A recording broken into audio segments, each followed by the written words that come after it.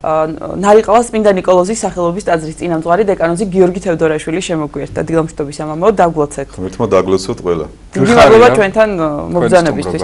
მამაო დღეს ჩვენ საუბრობთ სულიერის სახლის აღშენების მნიშვნელობაზე. ამბა დოროთეს წავლანის მიხედვით. როგორც თქვით ამბადორეთ თავის სწავლანში სწორედ ამ საკითხზე საუბრობს და პირველ რიგში მაყურებელს რომ განუმარტო თუ რას ნიშნავს სულიერი სახლის აღშენება. ხო, გიორგი შეიძლება ვინმე ფიქროს ამ სიცხეში ადროს სულიერი სახლის შენება, მაგრამ საერთოდ ადროს შენებლობაა.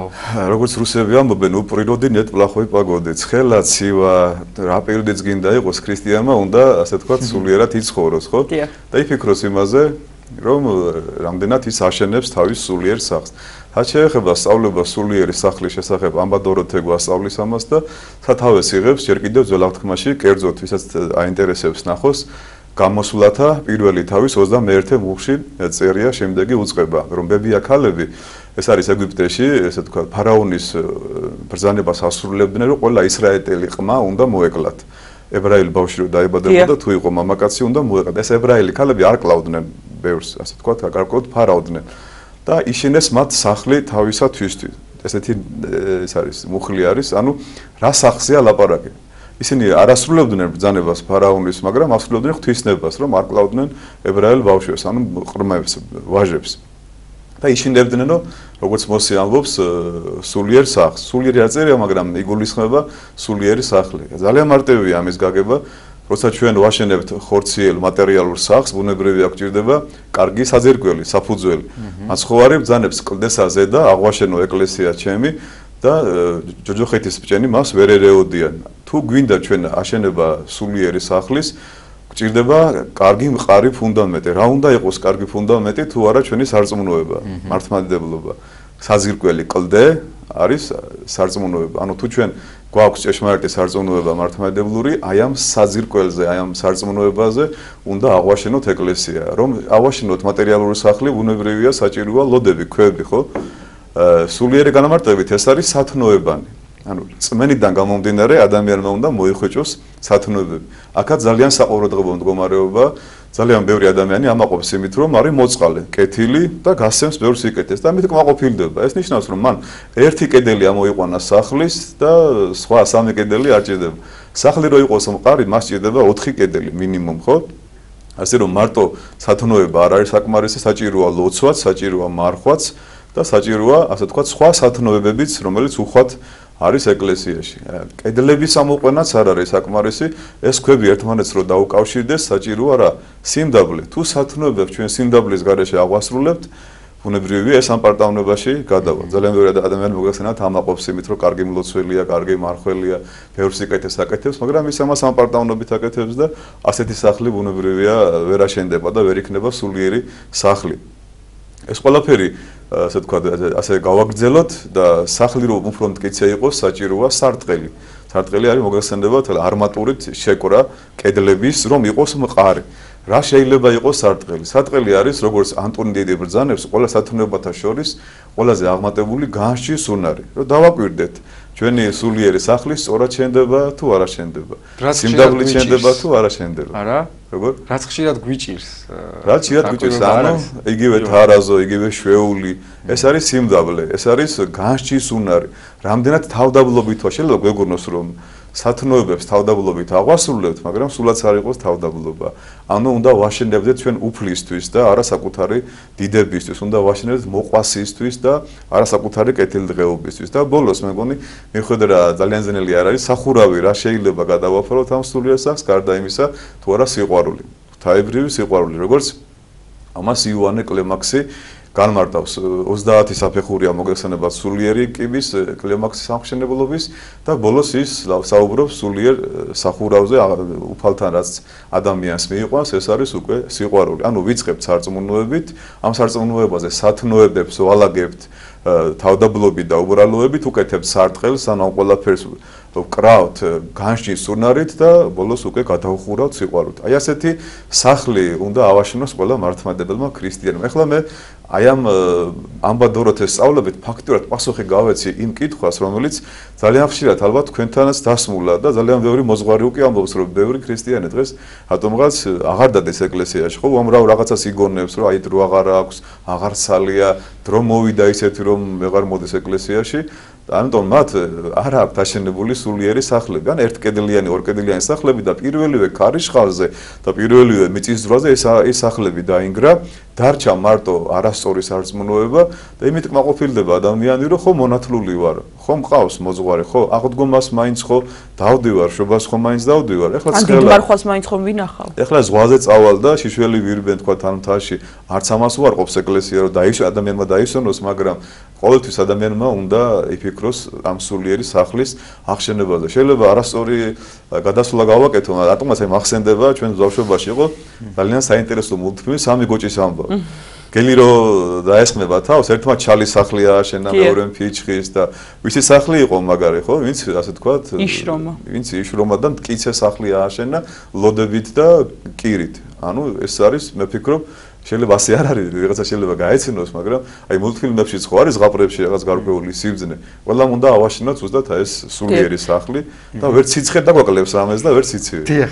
აი რადგან თქვენ ასე ყოფითად შეადარეთ ანუ იგივე ახსენეთ თქვა რაღაცა მატერიალური რეკვიზიტები რაც სახლის მშენებლობას სჭირდება და რაღაცა სულიერი სახლის მშენებლობას მიუსადაგეთ ეს ყველაფერი ხო? აი რო თქვა როგორი რთულია ხო სახლის მშენებლობა? მით უმეტეს როგორი რთულია სულიერი სახლის მშენებლობა და ალბათ ყველა ჩვენგანს მეტნაკლებად განგვიცდია ის აი ელისაბედმაც ახსენა იგივე აღდგომის მარხვა ხო? ამ დროს განსაკუთრებულად ხდება ხოლმე მეტნაკლებად მობილიზება მრევლისა და დადიან ტაძრებში ცდილობენ შეინახონ მარხვა და ეზიარონ აღდგომის დღესასწაულზე თუმცა მე როგორ უცებ ხდება ხოლმე აი ამ სახლის ჩამოშლა ერთგვარად არა?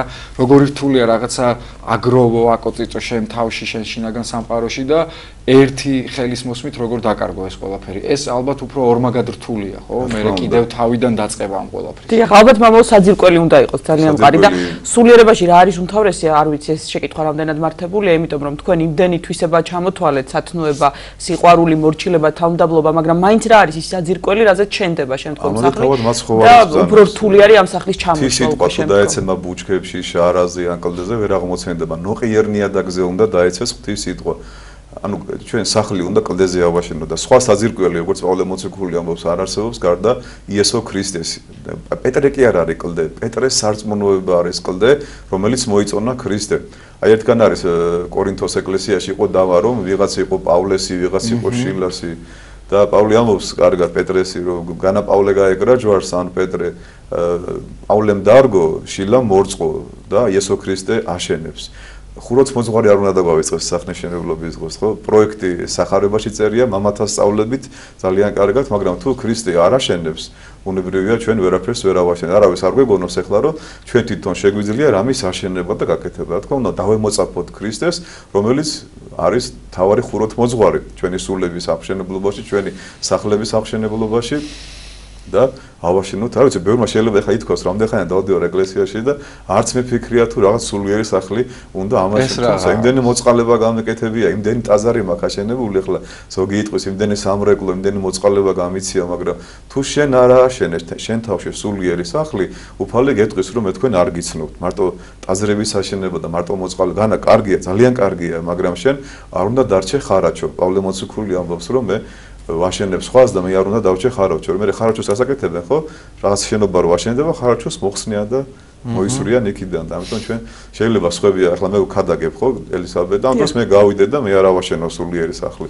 ჩემ სიტყვაზე და ამბადროთეს სიტყვაზე აშენდეს სახლი სხვაში და ამდროს მე წავიდე და ეს ყველაფერი არ გავითვალისწინო და რაღაც სხვანაირად მოვიქცე. ჯვარი გწერია ამ მდგომარეობიდან. იგივე თქვენ იგივე თქვენი ტელევიზია ამ ხელა საქმეს აკეთებს და თქვენ თვითონ რო არ შენდებოდეთ და თქვენ თვითონ აი ამ ღვთის სიტყვას რო არ ასრულებდეთ და არ იცავდეთ მაშინ ძალიან სავალალო მდგომარეობაში ვიქნებით. და იმედი მაქვს რომ აი ეს ალბათ არ დაგები გამოცხადა უკვე თქვენთანაც და აი ამ დავალებით გავისტუმროთ ხო გამოცხადდება ხო რა ხო გამოცხადდება და ყველა მიფიქროს ახლა დაიწყოს უკვე რაღაცა ქვების მოტანა ხო სათნოებების მოძიება შეამოწმონ რამდენად მათი სარწმუნოება კლდეზეა აღშენებული და თქვა რაღაც სექტანტური სარწმუნოება რა აქვს. ხო ძალიან ბევრი ადამიანი ხო ამბობს რომ მე არ მინდა მოძღვარი მე არ მინდა ეკლესია მე რა თმინდა პატრიარქი მე ჩემი წვენა მაქვს სახში ხატებთან ვიტყვი აღსარებას და მათი სულიერი სახლი ბუნებრივია ძალიან ცუდნია დაგზია ხო. და აი ეს ამ შესახებაც მინდოდა მეკითხა ხო არიან ადამიანები ვინც მაგალითად არ ითვალისწინებს რაღაცა მშენებლობის პრინციპებს ხო არის? აი რაღაცა უნდა დაიცვა ხო? იგივე ახსენე სარტყელი ჭირდება აუცილებლად თორემ დაიშლება და ასე შემდეგ და აი თვითონ აშენებენ რა თავის თავისი წესები აქვს. აი ეკლესიის ხო ეკლესიის გარეთ არსებული ზედამხედველობის სამსახური მივოდა დაანგრევს მე ხო? ალბათ. თუკი ქალაქში არ შეიძლება პატარა და როგორი ხალხი მუშაობს ამ ზედამხედველობის სამსახურში მე ვამბობ სულიერი კუთხით. ანუ არა წმინდა სული მას მაშინვე მაშინვე დაუნგრევს პატარა ნიავზეც კი დაინგრევა ის სახლი რომელსაც არ აქვს საძირკველი პროექტი არ აყავს ამხსენებელი არ არის სათნოებებით აშენებული ის პირველივე კვეთების დროს დაემხობა და დამხობილიც არის ფაქტიურად ხო? თუ ყველაფერს თუ ჩვენი სახლი 9 ბალზე იქნება გათვალისწინებული 9 ბალი მოგესალმებით დღეს თანამედროვე შენობები რო შენდება მინიმუმ 9-10 ბალზე უნდა იყოს გათვალისწინებული. მე მგონი ყველაზე დაბალი არის 8 ბალი ხო და ასევე მისულიერი სახლი უფრო მეტად არ უნდა იყოს. შენ თუ არიცი ხელოვნება ეშმაკთან პაიქრობის ბუნებრივია ძალიან მარტივად შემოვა შენ სახლში ეშმაკი. ყოველას არ უნდა გაუღო კარები ხო? თუკი ჩვენ ხორციელ მატერიალურ სახლებს დაცვას უყენებთ და მოკლედელი რაღაც დაცვის სამსახურია ჩართული და კამერები. ხიზლები ასეც არ არის საჭირო, მაგრამ ძალიან ხიზლად უნდა ვიყოთ ხო, რომ ჩვენი სულიერი სახლი, ჩვენი ციხესიმაგრე უნდა იყოს, რომ საკმარად ისეა იქ პატარა გარღვევა მოხდეს, დუღაბი არ იყოს მткиცე, აღშენება არ იყოს თავდაბლობი და სარტყელი არ იყოს განსჯა და სიყვარული არ სიყვარულით არ გადახუროთ.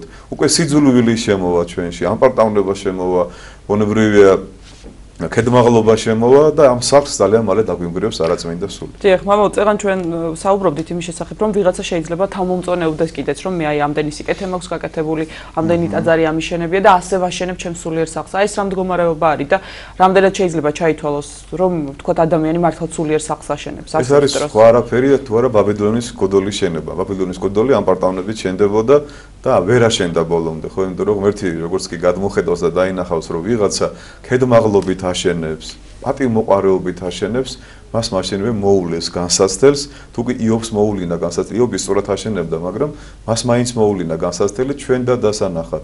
თუ კი პეტრეს და პავლეს ამდენი განსაცდელები ჰქონდა, ამდენი წმინდა მამა იყო განსაცდელებში, როგორ ფიქრობთ რა, ის ადამიანები, ვინც სწორად აშენებენ, მას ღმერთი ხო ამხელს, იგივე ჩვენ რო ეხლავ საუბრობთ, არ ჯობია რომ ესაუბარი მათ გაითვალისწინონ, ვიდრე სხვანაირად ამხელს ღმერთი, ხო? არ ჯობია შვიდა და წნარად მოისმინონ ეს საუბარი ას ამბადოროთ ეს სტავლანში წერია თუ მაინც და მაინც ნეულებით, განსაცდელით, კივილით, წარღვნით, მეწყერით და უამრავი რაღაც რაღაცებით შეიძლება რომ მამო თუმცა რაზეც ახლა ჩვენ საუბრობთ საკმაოდ რთულია და მაყურებელი რომელიც გვიყურებს შეიძლება იფიქროს რომ შეუძლებელიც კია ვთქვა რაღაც რაღაცნაირად და იმ ყველა იმ ყველა რთულია და თუ არ გვეზარება არა ასპექტის გათვალისწინება რაც თქვენ ბძანეთ მაინც რთულია გარემოდან გამომდინარე რომელშიც დღეს გვიწევს ცხოვრება. იქიდან გამომდინარე რასაც ტელევიზიით ვუყურებთ და რაც ხდება ჩვენ სირკული რაც მსოფლიოში მიმდინარე პროცესებს გულისხმობ რაც ხდება ზოგადად მსოფლიოში. რთულია რომ რაღაცნაირად მიყვეს სულიერი სახლის მშენებლობას. მაინც გამონათქვამი არსებობს ელისაბედ რომ კაცმა ცხოვრებაში ხევნა დარგოს, ოჯახი უნდა შექმნას, შვილი გააჩინოსო და სახლი უნდა აშენოსო. ხო, მატერიალურად ყველა მაინც ფიქრობთ, რაღაც ერთოთახიანი მაინც ვიყიდოთ, ან მამამ დაგვიტოვა და ის გავაკეთოთ. სახლის შექმნაზე ხო ყველა ფიქრობთ, ევრო რემონტი რო იყოს. და ამ დროს სულიერი გვავიწყდება, აი ამაზე საუბრო. ყველა ხო ფიქრობთ, 90% მოსახლეობის გვეზარება თუ არ გვეზარება. ჩვენი ხორციელი მიზანი ხომ არის ის, რომ სახლი გქონდეს, ჭერი გქონდეს. აი ძირითადად ოჯახებში კონფლიქტები ხო არის ის, რომ რაღაც ფარტი არ არის საკმარისი, ყველა ფიქრობს გაფართოებას, ახლის აშენებას, მომატებას და ნუ თუ არ შეიძლება 10% მაინც ჩვენ სულიერი სახლის აღშენებაზე ვიფიქროთ. ჩვენი ხორციელი მიზანი თუ ეს არის, სულიერი მიზანიც ხო უნდა არსებობდეს, იმიტომ რომ არავინ არ ვიცით, როდის დავამთავროთ ამ წუთის სოფელს, როდის გაგვიყვანს ღმერთი და თუ სულიერ სახში არ ვიქნებით, იმ მარადილ სახში ჩვენ ვერანაირად ვერ მოხვდებით, იმიტომ რომ არ გვეცოდინება რა არის არწმუნოება, არ გვეცოდინება, არ გვექნება სათნოებები, არ გვექნება განჯის უნარი და არ გვექნება სიყვარული. და ეს ყველაფერი თუ არ გვექნება, მაშინ ბუტაფორია ვიქნებით, იმ ფარისევლები ვიქნებით, რომლებიც გარეგნულად თეთრად შეფეთქილი საფლავები იყვნენ და შიგნით ყარდა მათი მდგომარეობა. ქრისტემ პირველი მინამხილა, მეძავები და მრუშები ხო არ უმხილებია. პირველ რიგში ამხილა ასეთი ასე თქვა შემკობილი ლამაზად ყოფი ხალხი და ასე გვეტყვის ჩვენს ვაი თქვენ და მწიგნობარნო და ფარისეველნო სხვა სუქადაგებდით და თქვენ არანაირი სულიერი სახლი არ აღიშენებიათ. ამის გარეშე ცხონება არ არსებობს და ხა არჩევანი ჩვენზეა. დიახ, აი რამდენჯერ მე ახსენეთ სიტყვა განსჭა და განკითხვა ხშირად უჭირთ ხოლმე ადამიანებს აი ამ ორი ტერმინის გამიჯვნა სულ სხვადასხვა ცნებებია ესენი ხო? აი რადგან ამ ასე პარალელს ვავლებთ ფიზიკური და სულიერი სახლის მშენებლობაზე ამ პარალელსაც გავავლებ თქვა აი ხომ არიან ისეთი ადამიანები ვინც მუდმივად აკონტროლებენ? არა შედიან ვინმე სახლში და ათვალიერებენ სად რა დგას როგორი დგას რა შეუძენია რა უკიდია ანუ ხო ხდებით და საკუთარი ავიწყდება ეს რამდენად საშიში მდგომარეობა? რა თქმა უნდა გავიგეთ მე თქვენ და ელისაბედს მოგეფერეთ და გითხარით თქვენთან საუბარი ყოველთვის სიამოვნებს. და განსაკუთრებით კარგი ჩართვები გაქვთ ხოლმე. ახლა მე ნამდვილად არ მაგარ გამახსენებოდა თქვენ რომ არ გეთქვათ გიორგი. რა არის განსჯა და რა არის განკითხვა?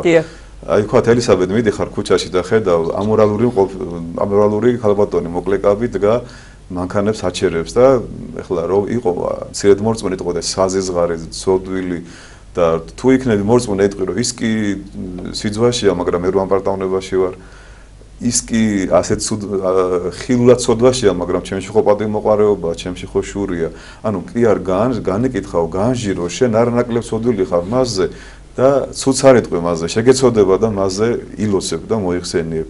და ვინც თავის თავზე ძალიან ცუდი წარმოდგენის ანუ კარგი გონია მაშინვე განეკითხავს მამაკაცს რომელიც თქვა ეწევა ან იკეთებს ან სვავს ხო? საზიზღარი ნახე ის როგორია და მე შინაგანად როგორც კი სხვას განვიკითხავთ უკვე დიაგნოზს უსვავთ საკუთარ თავს. მე კარგი ვარ და ის ცუდია და ვინც თავის თავზე მუშაობს და თავის ნებებს ებრძვის არასდროს არ განეკითხავს სხვას პირიქით გული დაწყდება რომ აი იმდენად დაეცა ეს გოგონა რომ არც კი მალავს თავის უზნეობას და ქუჩაში გამოიყვანა გაჭირვებამ და უზნეობამ და გული დაგწყდება და მას მის მიმართ სიმპათიით განეწყობი. და თუ ამაყი ხარ და პატივმოყარე ხარ მაშინვე განკითხვაში ჩავარდები აი ამ მიხვდით რა თუ განსჯაში ხართ, კარგი ადამიანები ხართ, თუ განკითხაში ხართ, საკუთარ თავზე ძალიან ცუდი წარმოდგენა ხართ, იმიტომ რომ ჩვენ ხო სნეულებაში ვართ ყველა.